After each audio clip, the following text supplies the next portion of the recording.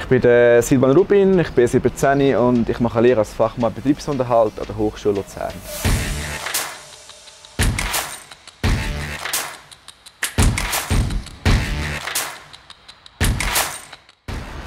Als Fachmann Betriebsunterhalt sind wir für viele verschiedene Sachen zuständig.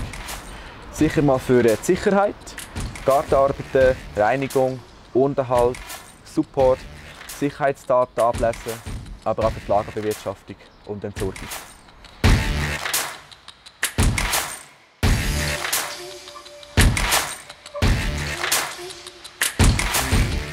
An meinem Beruf gefällt mir wirklich sehr, äh, dass ich viele Sachen im Haus machen muss, dass ich eine gewisse Verantwortung habe, aber auch, dass es sehr abwechslungsreich ist.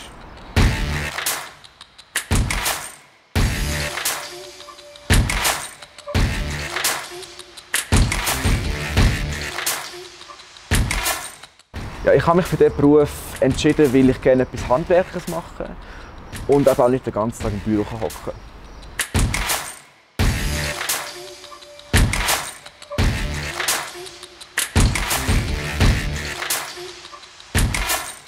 Unser Beruf macht sicher sehr einzigartig, dass wir eine hohe Verantwortung für ein Gebäude haben.